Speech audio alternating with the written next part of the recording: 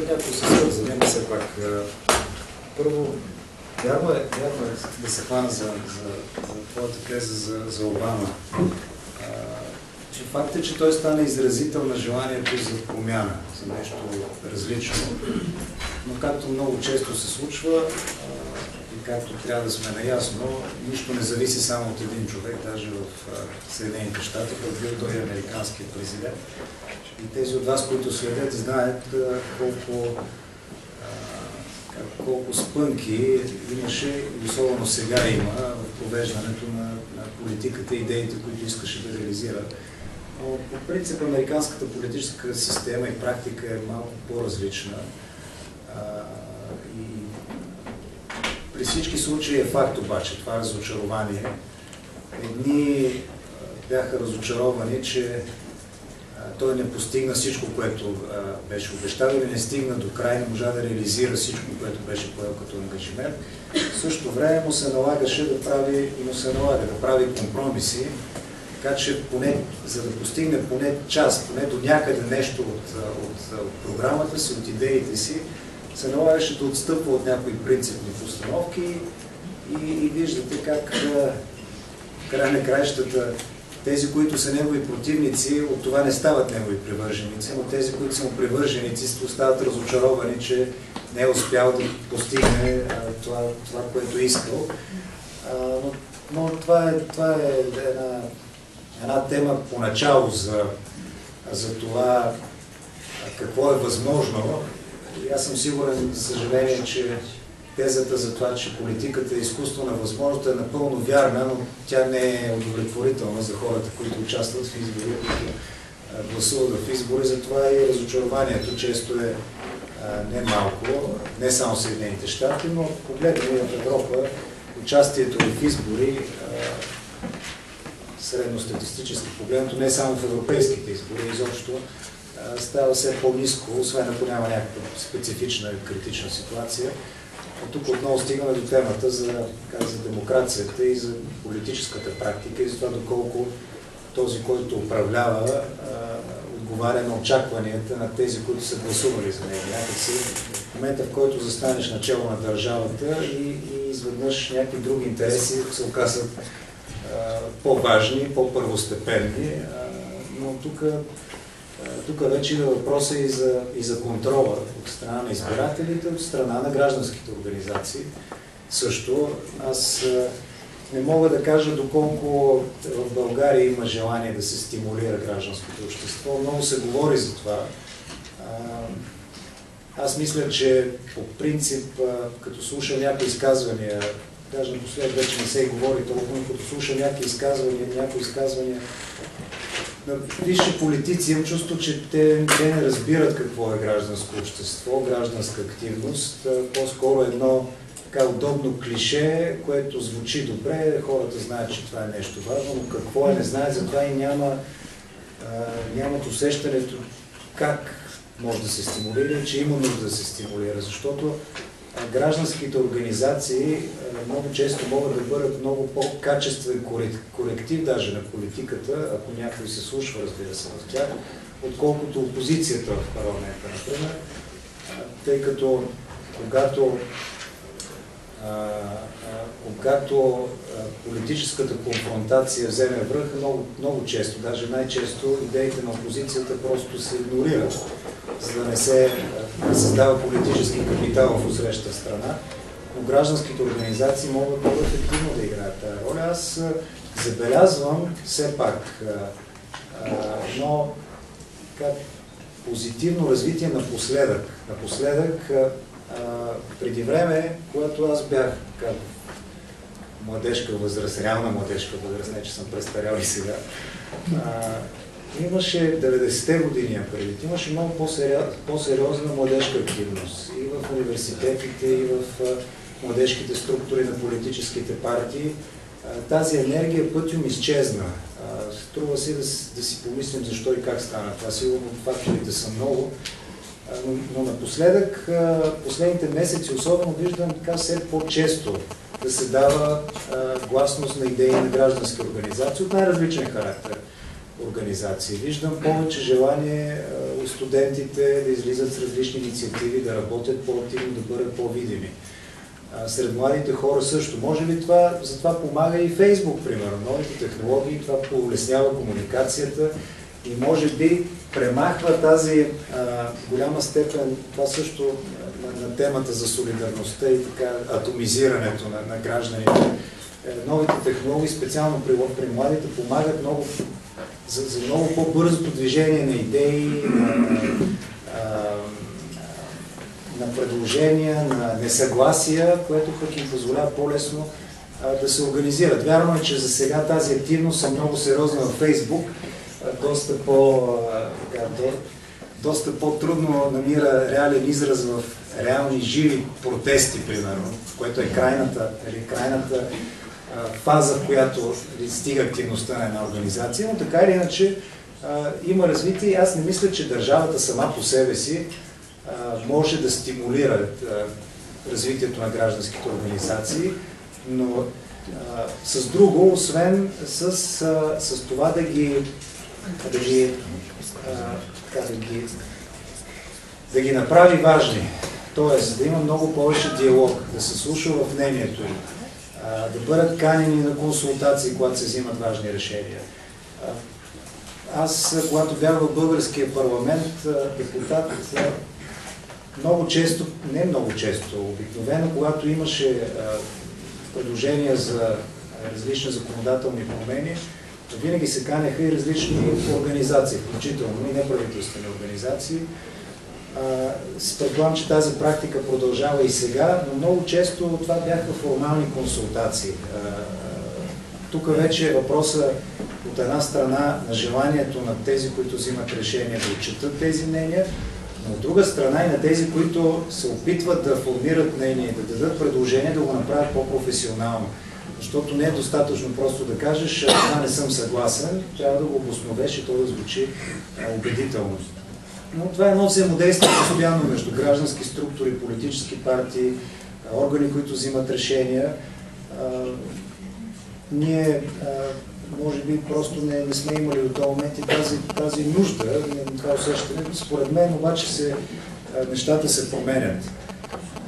по отношение на, на енергията, има има според мен съществена разлика между така, предишните периоди на трансформация, нека да го кажем, Европейския съюз. Поне от моя гледна точка така разсъждавам. Имаше, а, че тези цели, с които е бил създаден Европейския съюз, а, към днешна дата изглежда твърде далечни, включително на хората, които сега взимат политическите решения. Това вече е едно следвоенно поколение, което не помни войната даже. А, тогава това е бил много силен стимул на държавите да бъдат заедно. След това желанието за задължаването на интеграцията, за да се противостои на глобалните а, процеси или на, ако може да говорим за глобализацията не от вчера, впрочем, е давала тази енергия и усещането, че когато имаш един голям пазар, економически той е много по-устойчив на външните шокове, което е факт. След това 90-те години голямата цел беше политическа и, и, и за тази голяма политическа цел, според мен, по-малко се е разсъждавало за проблемите, които тя сама по себе си може да, може да носи. Говореше се тогава и продължаваме нали, да казваме, че голямото достижение на Европейския съюз от 90-те години е края или началото на, на, на как се казва, 2000-те, в началото на, на 21 век е това, че окончателно е премахнато разделението в европейския, в рамките на Европа, т.е. изтока и запада са заедно. А, сега вече стимула това да продължава а, с страните, да кажем, от Западните Балкани е малко по-различен, малко, така, така се каже, без такъв ентусиазъм, с идеята, че тук вече нямаме голяма политическа цел, просто искаме Западните Балкани да престанат да бъдат източник на нестабилност, да вкараме нещата в определени европейски рамки, включително гледна точка на, на ценностна система, начин на изграждане на, на, на демократичните структури и включително начина на функциониране на обществата. Тук вече е големия проблем, защото то не става от, от днес за утре. Премахване на етническите противопоставяния и така нататък. Тази цел определено не изглежда много стимулираща на гражданите на Европейския съюз, особено тези, които не са от нашия регион. И затова и процесът е, че е по-трудно, по-малко склонни са страните членки на Европейския съюз да правят компромиси, компромиси с кандидатите. И определено няма такава енергия, особено на фона на това, че особено на фона на това, че, че финансовите и економически трудности изпумпват голяма част от политическата енергия в рамките на Европейския съюз. А затова смятам, че не можем да говорим за някакъв чудодеен източник на енергия. Тук по-скоро смятам, че стимула да излезем от сегашната ситуация е влизането ни в един режим на, на, на оцеляване, запазване на Съюза с всичките му достижения, опит да се погледне напред.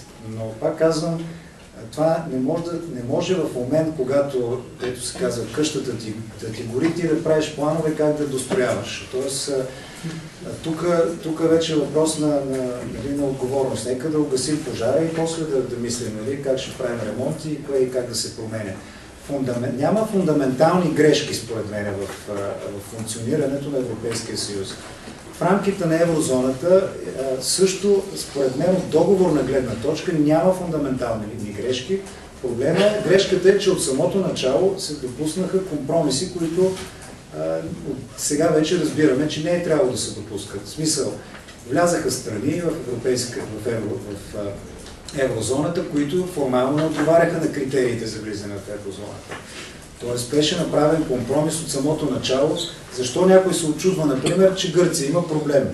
Ами тя още тогава с фокуси скълъпи един бюджетен дефицит, с който да успее формално да отговори на критерия от годината преди влизането си в еврозоната и, и това беше. Никой не погледна фундаменталните характеристики на, на самата гръцка економика. Тогава смятам, че идеята е била по-скоро който е готов, се счита готов и иска да влезе, да влезе, да бъде еврозоната е едно по-голямо обединение, което да изглежда по-мощно, по-голямо и по-привлекателно и от тази гледна точка и в някакъв смисъл по-стабилно, включително политически. Само, че оттам нататък и една структура, която не е, няма достатъчно солиден фундамент, ние една колона, като не е достатъчно здрава, винаги има риск да се срути. Сега укрепваме различните колони. Същата работа е с Италия и Белгия даже включително. Те влязаха с външен дълг, който далеч надхвърляше изискванията от 60%, които имаше към еврозоната. Чак когато тръгнаха страните от Централна и Източна Европа да се присъединяват, тогава изведнъж се оказаха изключително стриктни към тези критерии. Ако не се лъжа, Латвия ли беше, понеже инфлацията беше 0,1% по-висока от, от критерия формалния за еврозоната, ги отказаха. После се оказа, че нали, има и други причини, но мисълта ми е, че това беше формалния критерий, което а, твърде късно, нали, и, не че Латвия ще, да промени съществено нали, проблемите вътре. Така че от това, което имаме нужда е първо спазване на правилата, но, но не може до вчера да не си ги спазвал и от днеска за утре да сетиш, че трябва да се спазват и да поискаш тия страни в рамките на 2-3 години да влязат под 60% съотношение на брутен вътрешен продукт външен дълг, дефицита да падне до под 3% едва ли не незабавно, даже ние вече се говори, че трябва да бъде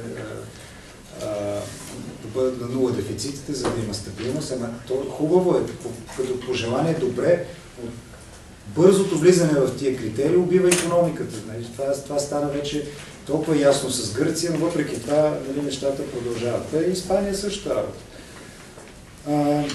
Така че пак да кажа, не виждам откъде може да дойде нова енергия сега точно, но това, което може да бъде движеща сила, желанието все пак да запазим това, което е достигнато и да не се подадем така на силите, които искат да няма Европейски съюз или поне да не е такъв. Има, има и такива. Но ние не сме от тях в България предвид, нито пък българите. Нашата позиция, ако ме питаше за позицията на България, България трябва да се противопостави категорично на идеята за, за Европа за различни скорости, защото ние по, по, по всякакви критерии винаги ще бъдем на периферията, ако, ако това се направи.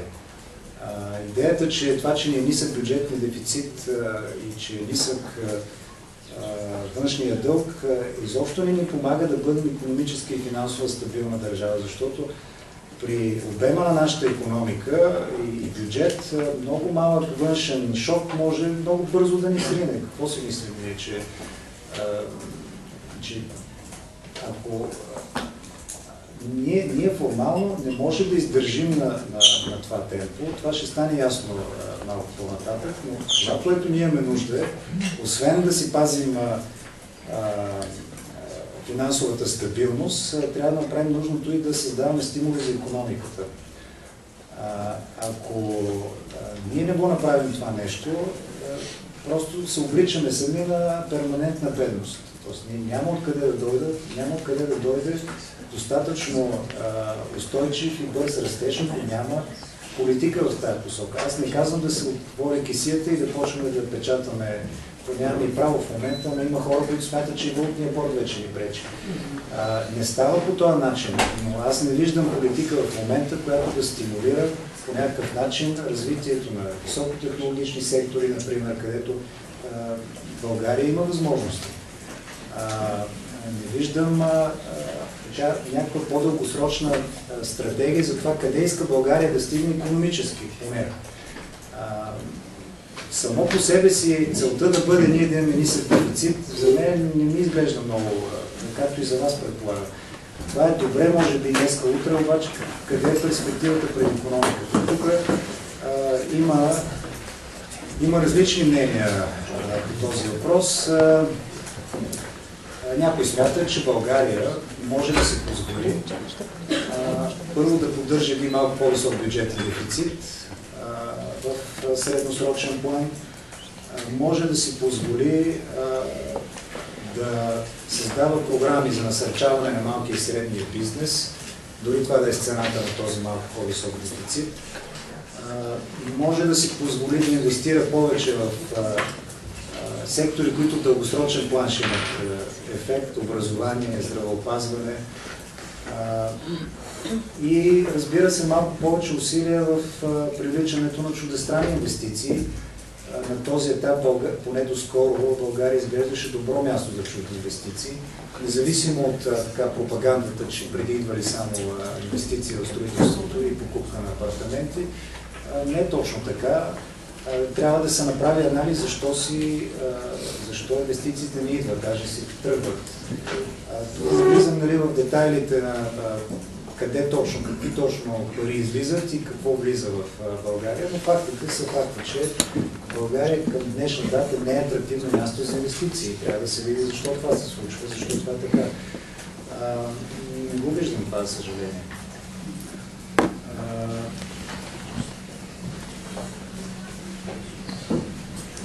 А, и за Лисабонския договор.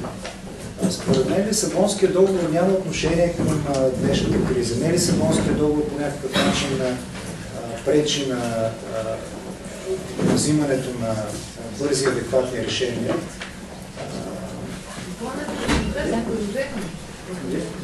Лисабонския договор сам по себе си си изпълнява своите функции. Тоест, няма към момента причина се смята, че той е бил грешка. Може би той не отиде достатъчно далеч. А защо бяха такива големи дебати Ами, а, дебатите, още като се почна от Европейската конституция а, и се стигне след това пред, как да се редуцира на вид до Лисабонския договор, нормално е да са големи дебатите, защото имаше много различни предложения. Вие помните, имаше една година конвент, който участваха кой ли не, как грубо говорим трябваше да се види какво, какво е нужно на Европа. Аз и сега смятам, че Лисабонския договор беше добър компромис, той функционира и сега. Не е той проблема за финансовата и економическа криза, която сега изпитваме. Затова и да се търси сега веднага промяна в този договор не е, не е адекватно. Той не е показал дефекти, не от наша гледна точка. Освен това, има друг проблем, пак да кажа, че този договор беше компромис към този момент. Някои искат, Саркози, например, иска повече решения да бъдат взимани вече не с единодушие с квалифицирано мнозинство. Това е чудесно. Обаче, за да се случи това, трябва всяка една страна членка да приеме това предложение и по своя си начин да го одобри. Някои трябва да правят референдуми, други трябва да правят ратификации в парламента. Има страни, през които това е абсурд да мине. Да кажем една Великобритания няма как да приеме такава промяна на Лисабонския договор. Това означава тя да бъде по някакъв начин самоизключена от Европейския съюз. Дали това искаме? Дали искаме да направим един малък съюз, който всички се обичат и взимат заедно решенията и нямат нищо против да се въведе и квалифицирано и обикновено мнозинство, или искаме да, направи, да Европейски съюз да бъде достатъчно мащабен като съюз, економически и социално, все пак да добавя, който, макар и да взима по-мудно решения, има много по-голяма тежест на международната сцена. И в случая, например, едно една от последиците на Лисабонския договор беше Европейската служба за външна дейност, която при всичките критики, естествено е да има критики, когато някой изведнъж става по-видим на международната сцена, най-много критики върху от външните министри, които сега имат много по-малка роля в взимането на решения външно-политически в Европейския съюз, отколкото върховният представител Катрин Аштън. Службата вече функционира, ние сега правим анализи за първоначалния период от нейното функциониране. При цялата сложност на сегашната ситуация, Аштън, това е много хора обвиняват, че а, така, няма, не е имал опит, а, че не е достатъчно твърда в позициите си. А, тя е на една изключително, има изключително трудна задача, която, впрочем, ако, ако трябва Лисабонския договор да го пренапишем, тук в тази част аз бих направил други предложения, защото какво се оказа? Ние на, на, на върховния представител, зам председател на комисията, така наречения външен министр трябваше да бъде, помните, от Конституцията това се махна, защото дразни. но уши дадахме много сила, а, като едновременно е върховен представител на, за външната политика и председателства съвета, от друга страна е заместник председател на Европейската комисия с идеята, че това създава една много силна фигура. Обаче в институционалната рамка тя се оказа двойно ограничена. Защото от една страна представлява съвета, от друга страна представлява комисията. Значи тя като председателстваща съвета не може да вземе, не е свободна в взимането на решения, защото трябва да се образи с Европейската комисия. И обратно, като заместник председател на Европейската комисия, трябва да отчете какво е мнението на съвета. Първо, това са нали, двете а, европейски институции. Отделно от това... Тя се занимава с Косово. Защо Германия тогава държава, когато... Колежки? А, Изчакайте отговора. Първо не, точно, Първо, не, въпросът е много точен. Аз точно, точно това ще да кажа. Точно това ще да кажа, защото когато тя трябва да изрази позиция, представете си, примерно, тя избързва и казва. Тя има, тя има, има рамката като ръководител на Европейска служба за външна дейност, нещо се случва, тя има хората на нейно разположение, които дават позиция и тя веднага казва Европейския съюз ще направи така, така и така. И представете си след половин час, германският външен министр каже точно обратното, френският той си каже нещо трето. Тя самата би улекнала страшно, ако това се случи. Затова те обвиняват понякога, че върви след събитията. Обаче тя е длъжна просто да съгласува част от тези позиции с водещите страни, защото ще го направи това един път в противоречие с външните министри, ще го направи втори път и третия път просто няма да приемат някъде, защото ще кажа, чай са ти, защо ми идваш? Като всъщност, кой стои за тебе? Това много е сложна нейната задача. Тук може някой път да седнем и да поговорим в повече детайли с конкретни примери и неща, защото някой път уж да направим някой силен, даваме му много власт, пък се окаже, че всъщност го затрудняваме изключително в изпълнението на тези задължения, но мисля, че поне за сега тя се справя. И май, че това беше, аз забравих ли нещо? Може, може и с втората вълна на въпроси, даже сега препоръчвам да отпадне модераторската работа и вие сам да посочите колегите, на които как бихте желали на чието въпрос да отговорите, тъй като няма много време. Колко време? Да, да. Ние имаме 15 минути, така че... Споменахте в изложението ви, че има сили, които а, са срещу това Европейския съюз да продължи във времето. Моя въпрос към вас е, можете ли да ги назовете или те, те вътре в Европейския съюз ли са или са външни сили, тъй като според мен причината за всичко това, което се случва в Европейския съюз, може би, така се опитайте да ни насочите и да ни подскажете, са по-скоро някакви външни фактори. Въпросът ми е, кои са сили? Моят въпрос е по-глобален, тъй като трябва да издавам много въпроси на дребно, ако след много да разсъждаваме по всичко, което ви поставяте. Не смятате ли, че и политическата и финансовата криза в момента в Европа е признак за провал на социалистическата визия за Европа, която доминира в Съюза до 80-те години за само и път от влияние на Франция преди всичко. И може би този въпрос е този въпрос. Единствената посока на следващото по-нататъчно развитие на Европейския съюз, по-нататъчна централизация ли е? Няма ли альтернатива?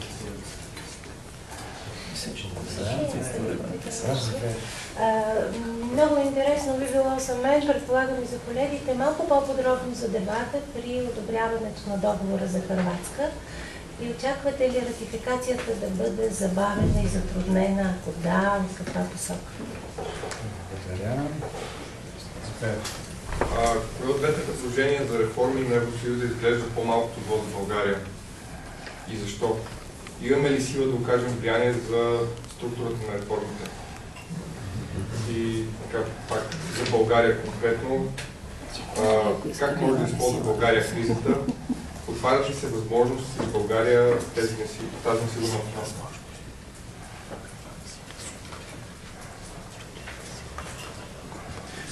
Моят въпрос е малко по-конкретен. От точка на това, което казахте, че има опит да се погледне напред. Също с ангажимента на България, който има към програма Европа 20 2020, а, който, е, който трябва да изпълни, съответно неизпълнението му може да породи и санкции. От една страна какви са те, а, и от друга страна, например, част от ангажимента е да се повиши, да се повиши а, процента, който се използва да, от, от БВП, процента, който се използва за образование, който в момента е депониран от- на 0,5, а също той трябва да бъде 1,5. Ами това, това вече от гледна точка на студенти и от гледна точка на това, което казахте за студентската активност, която ви доразите в последни месеци. Да, за вашата прогноза за евроинтеграцията на нашите съседи Сърбия и Македония в средносрочен план.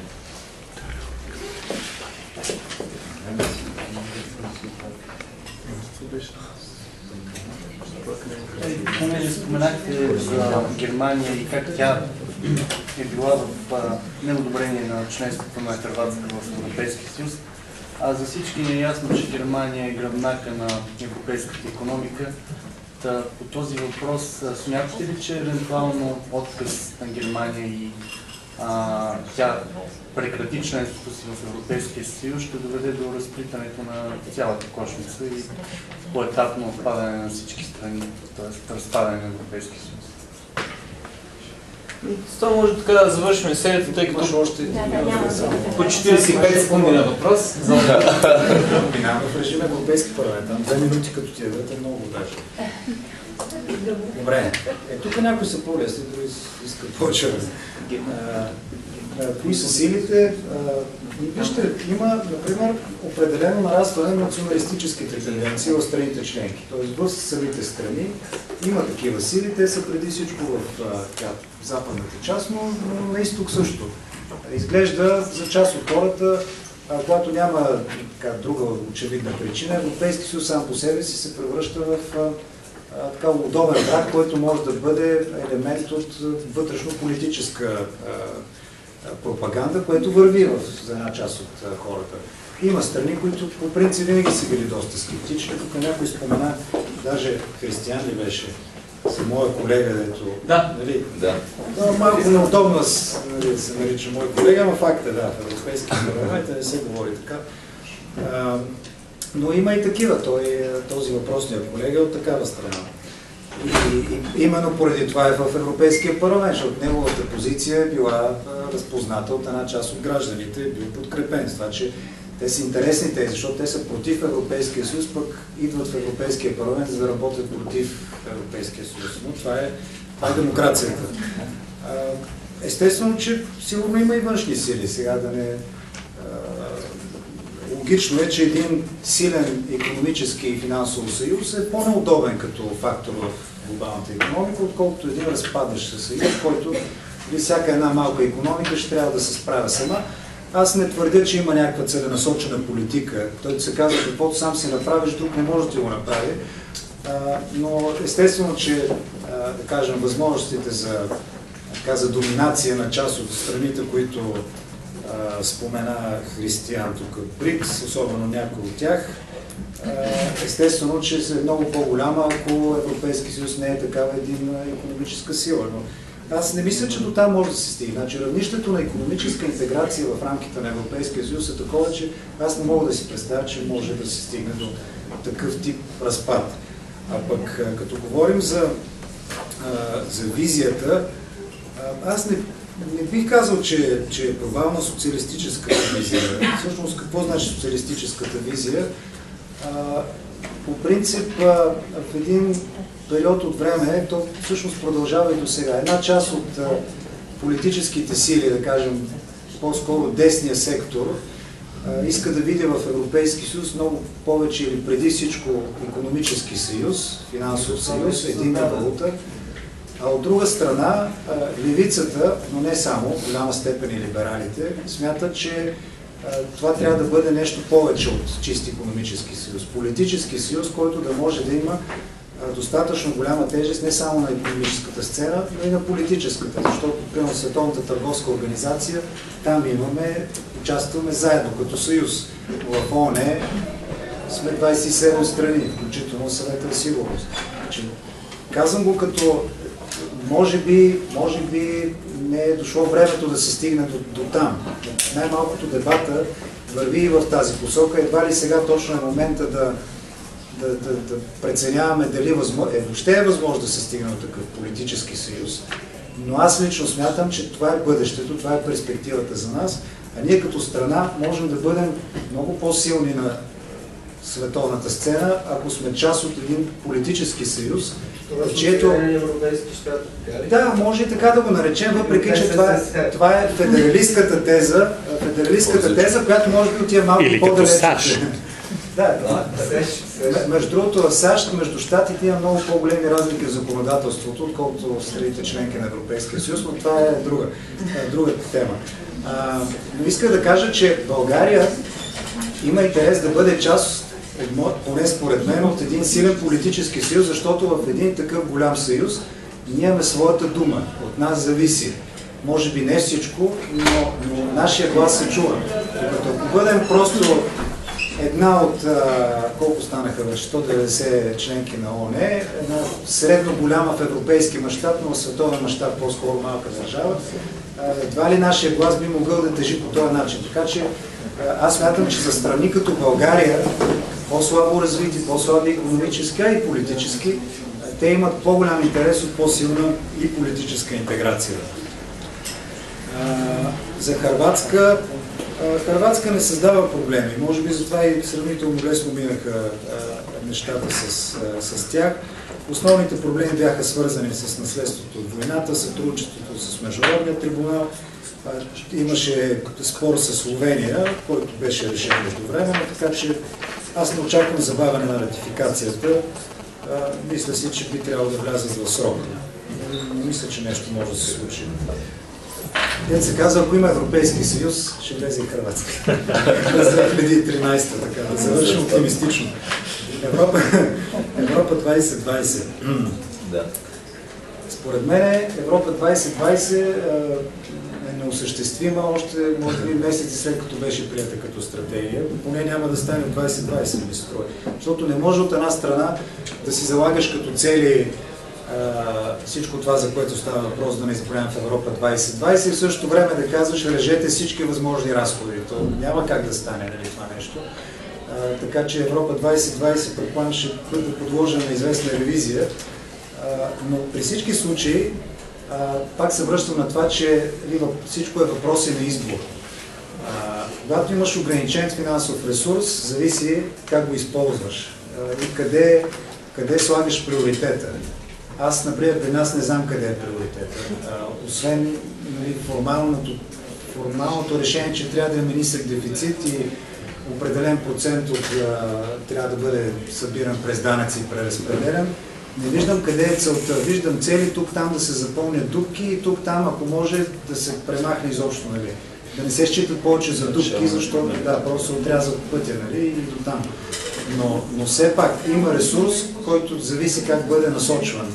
От моя гледна точка, тук вече липсата на стратегия е фрапираща не само у нас, но включително и у нас, защото тук има най-голям поглед. Европа 2020 според мен ще остане валидна като посока към днешна дата, но като конкретни параметри не съм убеден, че е възможно. Сигурно накрая като Лисабонската стратегия ще отчетем, че целите са били много хубави, но кризата ги е постигнатото е било... Извинявайте, че да, а по-локално погледнато по въпроса с брутни вътрешни продукти и образованието, има ли изглед според вас? Вижте, това е, това е цел края на краища.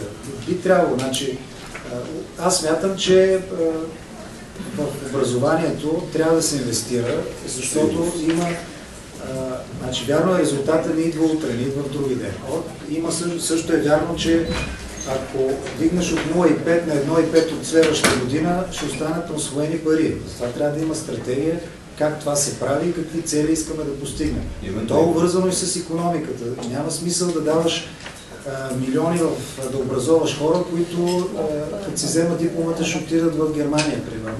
Айде, Германия даже не е най-точно примерно.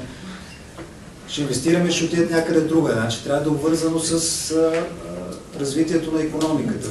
Затова то не е толкова просто, нали? Не Да, можеш да, да, оставиш, смисъл, не можеш да оставиш пазара да ти регулира всичко, ако искаш да имаш държава нали? Хора, които да, да се инвестира в тях и които да ти гарантират бъдещето на нацията. Но тук вече са економическите различия. Нали? Има либерали, които смятат, че пазара ще нареди всичко само себе си.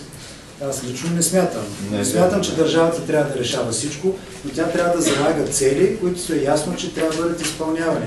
Тя не може да принуди бизнеса да, да прави нещо, но може да се даде условия бизнеса да се пренасочи там, където е полезно и, и нали, всичко, Да, да, където е да. вързано. А, за...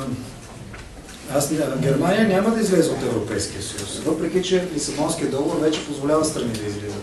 Даже скоро британците имаха голям проблем с този въпрос. Че на премиера депутатите искаха да се проведе референдум за излизане на Великобритания. А, Германия, тя според мен не виждам как може да излезе, даже да иска, но не виждам причина да иска, защото, както казах, тя е страната, която спечели най-много от Европейския съюз, економически. предвид. Нищо, че сега нали, била донор, била на тия пари, като, като е донор, нали, знаете как се въртят и накрая къде отиват.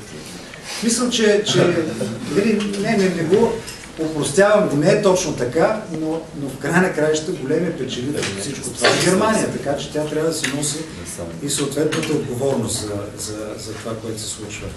Накрая Македония и Сърбия. Проблемът е много сериозен в нашите съседи, защото а, вие знаете при нас какъв стимул беше европейската перспектива за реформи. А, и, и, въпреки стимула, колко много неща не успяхме да свършим, продължаваме да се борим с тях.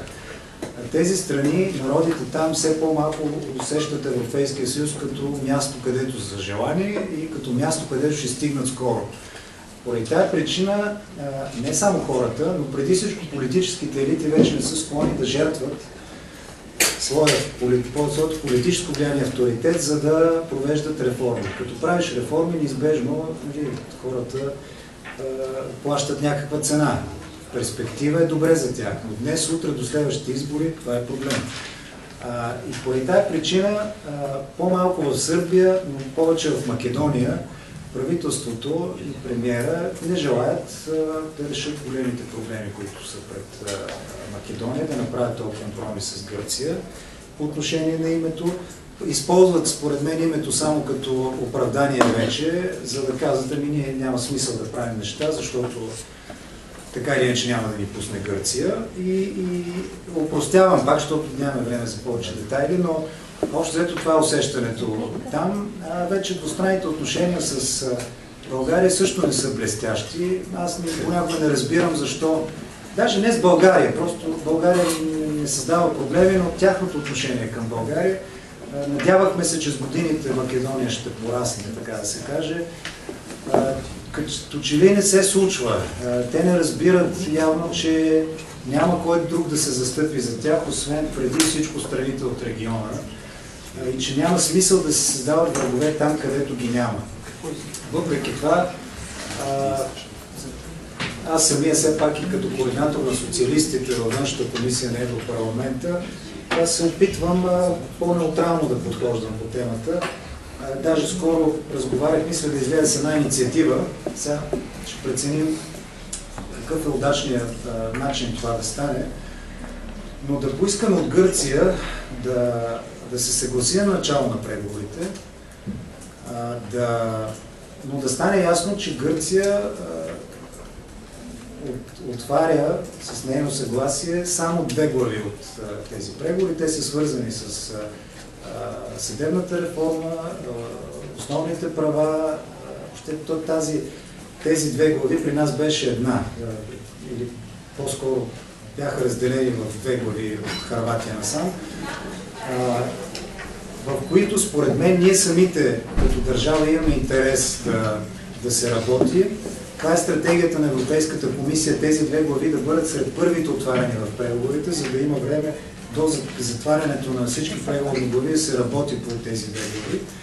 По този начин хем ще дадем старт и сигнал на македонците, че ето, Гърция първо прави компромис, второ, преговорите започват, не може да кажете, че някой блокира изцяло, да се даде един стимул да се върнат на масата на преговорите с Гърция.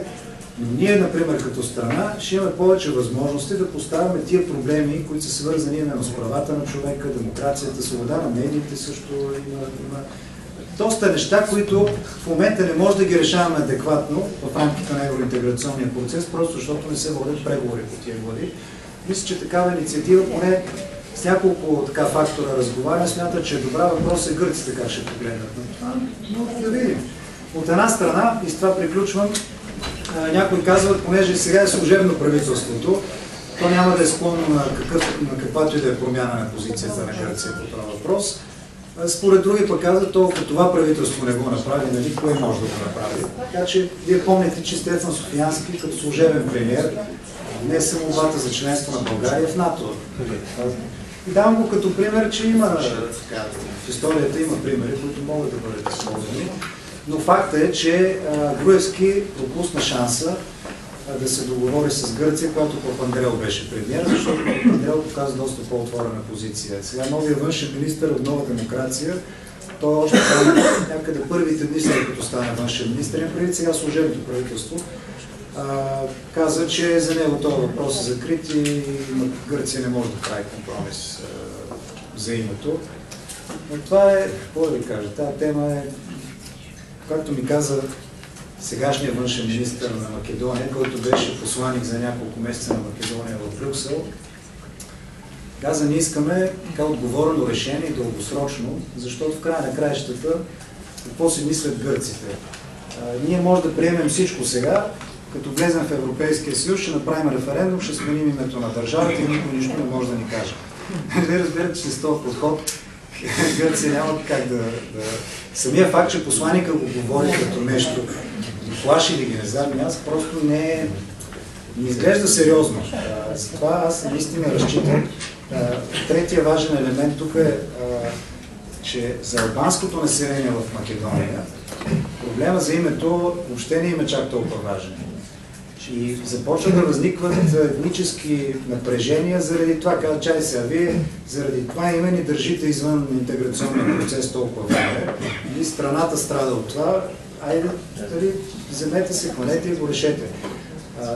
Та проблема с Македония има потенциала да създаде много сериозни а, напрежения тук в, а, в региона. Даже мисля, че по-големи, отколкото Сърбия-Косово и Сърбия Северно Косово, както нали, е проблема на Меркел в момента с Сърбия. И, и както нали, тук също не бива да злорадстваме по отношение на Македония, а, проблема е и за нас, това, което става и може да се случи в Македония. Та ето перспективите на Западните Балкани.